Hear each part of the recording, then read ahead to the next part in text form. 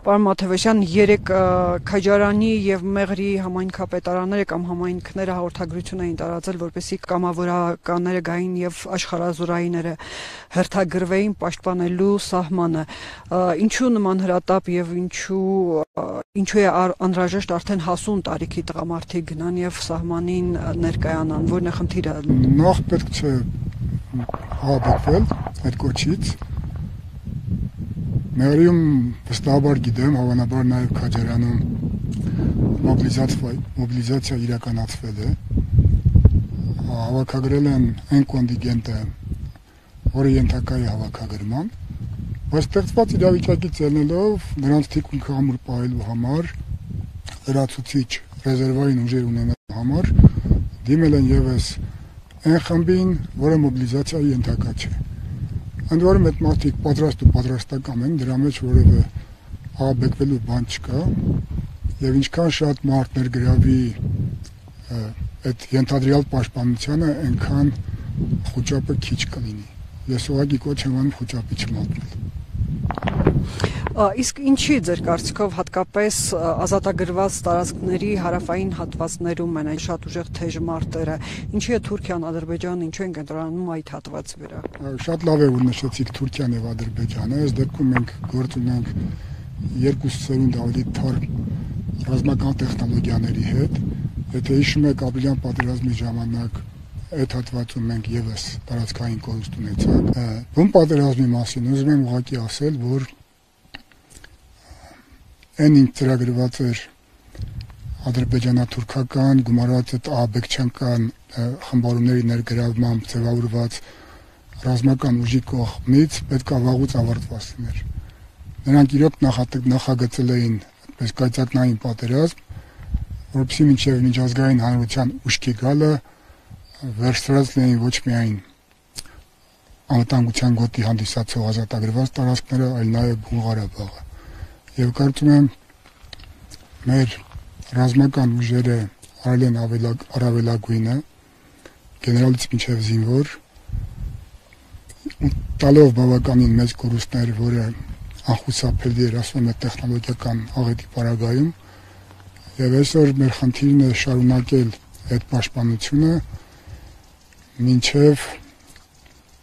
քաղաքական աշխարհ ուշքի կգա եւ կօգնի մեզ քաղաքական լուծումներով պետքա դիմանալ ինչքան հնարավոր է շատ։ Ասում եք աշխարհը կարծեք թե զարթնում է, ինչն է դա ձեզ հուշում։ Մենք առայժմ լսում ենք դատապարտող կոչեր եւ որևէ քայլ կարծեք թե չկա լուրջ։ Ռուսաստանի գործոնը շատ կարեւոր է, բայց ես ուզում եմ նշենք, որ Ռուսաստանի գործոնը կարևորում ենք ոչ միայն մենք, այլ նաև Ֆրանսիան, երեք ես նայում էի Արցախում հայտնված գերմանացի պատգամավորների ձևակերպումները հատուկ հատուկ ընդգծվեց, ես կարծում եմ, որ և, այս այս ճգնաժամը հաղթահարելու հարցում իրականում Ռուսաստանի դերը շատ կարևոր է բայց բայց պետք է աշխարհը նրան հասկանա գիտեք հիմա մենք անդադ տարվում ենք ժողովրդավարական նրբություններով Ռուսաստանի նկատմամբ սանկցիաներ են կիրառված մեզ դա տվյալ դեպքում չպետք է հետաքրի մեզ պետք է հետաքրի այն ուժը, որ կարող է մեզ օգնել։ Եվ այդ ուժը պետք է սանկցիաներ ունենա աշխարհի կողմից, կարծում եմ, որ հերթական անգամ ագրեսոր չհամարեն։ Դա իր խնդիրն է իհարկե, բայց որ Ռուսաստանը այս տարածաշրջանում ազդեցիկ երկիր է եւ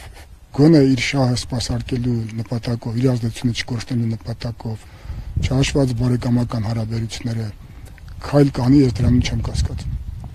Մաթեոսյան, իսկ որքան են արդարացված իշխանություններին ուղղված այն կոչերը, որ անպայման արդեն ժամանակն է պետք է դիմել հապկին, քանի որ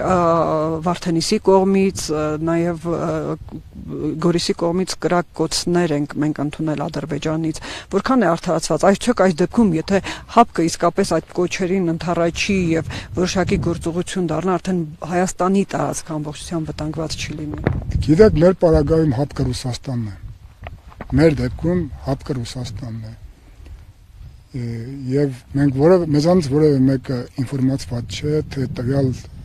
հարցի շուրջ ինչ հարաբերություններ են կառուցված Ռուսաստանի հետ։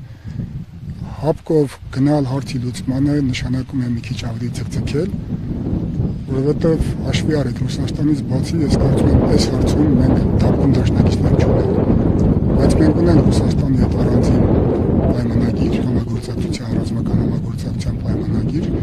կարծում եմ դա շատ ավելի օպերատիվ կաշխատի։ Մեր խնդիրը Հայաստանի տարածքում կռիվ հրահարելը չի, մեր խնդիրը հնարավորություն ստեղծելն է, որ Արցախի հայ ժողովուրդը ապրի իր բնորանում, շարունակի ապրել իր բնորանում Դուք նաև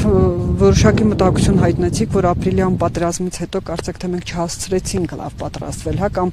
ժամանակ չեղավ, կամ միգուցե կամք չեղավ, ինչ ինչը մնաց բաց։ Գիտեք, կամք եղավ, նույնիսկ նախկին իշխանությունները ապրիլյան պատերազմից հետո բավականին շտկումներ կատարեցին, կարծես թե դեմքով շրջվեցին դեպի բանակ, նոր իշխանությունները շատ տեսանելի քայլեր կատարեցին Գուցե հենց դա էր պատճառը, որ այս թուրք-ադրբեջանական դաշինքը որոշեց օր առաջ լուծել այս խնդիրը, հակառակ դեպքում մենք էլ էինք գիտակցում, որ պետք է գնալ տեխնոլոգիական վերազինումների եւ այդ դեպքում չեմ կարծում, որ պատերազմի սկիզբը այսպիսի ընթացք կունենար։ Շատ մեծ տարբերություն կա, ես ուզում եմ հստակորեն ասել, Ես բավականին ուսումնասիրել եմ ապրիլյան պատերազմի ստարտը նրանց կողմից։ Եթե այս ստարտը լիներ եւ այս նպատակա ուղղվածությունը լիներ ապրիլյան պատերազմին, մենք երեք օր չէինք դիմանա։ Իսկ նամեն դեպքում մեր բանակում բարեփոխումների որոշակի ընթացք կա, դրական ընթացք կա, եւ նրանք կարծում եմ հարմար պահը որսացին, հաշվի առնելով նաև կորոնավիրուսը, բոլորից թվում էր թե կորոնավիրուսը չարիքնելով հանդերձ մի մի կողմից բարիք է, որ աշխարհի բոլոր հակամարտությունները կարծես թե կանգնեցին։ Բայց այս պահը նրանք ճիշտ ընտրեցին եւ դեռևս տեխնոլոգիապես չզինված նպատակներ ունեցող, բայց չզինված բանակի վրա հարձակվեցին։ Կորոնավիրուս հավանաբար մի կողմից, մյուս կողմից էլ ասում են իրանք ճիշտ հաշվարկեցին, որովհետև հիմա Ամերիկայի Միացյալ Նահանգներում նախընտրական քարը նախընտրական Ամերիկայի նման հսկան քնած է նրան չի հետաքրում այս այս կարգի կոնֆլիկտները այս պահին։ Հետո իհարկե եթե ամեն ինչ կորած լինի, չնայած ես դրան չեմ հավատում, որ փանոստեր կբացեն օգնություն ցույց կտան, ինչպես արել են ցեղասպանության ժամանակ, բայց դա առարկայական օգնություն չի, առարկայական օգնությունը հիմա է պետք կոնֆլիկտը կանխելու եւ ասում եմ միակ ուժը, որ կարող է մեզ ապավինել դա Ռուսաստանն է։ Իսկ հիմա ինչպես է գնահատում պատերազմական այս իրավիճակը ամփոփելով։ Օ, բարդ է, ամենայն դեպս ասում եմ նրանց այդ ծրագիրը իրականություն չի դարձել Կարծում եմ իրանք էլ համոզված են, որ այս խնդիրը պատերազմով ավարտին հասցնելը բան նպատակ չի, իրականացվող նպատակ չի։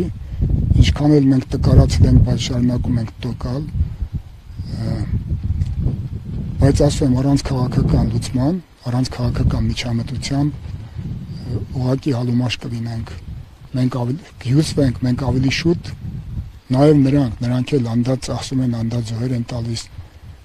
բայց մեր ռեսուրսը ավելի քիչ է եւ պետք է ամեն քայլ անել, դիմադրողականությունը բայլով հանդերձ դիվանագիտական բոլոր քայլերը պետք է անել, որ առաջ ժամ առաջ գոնե զինադադար հաստատելու համար։ Այդ առումով ումիջ եւ ինչ եք սպասում։ Դե կրկնեմ նորից, այդ առումով Մասնավորապես այսօր սպասում եմ ՄԱԿ-ի անվտանգության խորհրդի փակ նիստի մոտեցմանը։ Ենթադրում եմ, որ Ռուսաստանը կստանա որոշակի մանդատ այս հարցը ինքնուրույն լուծելու։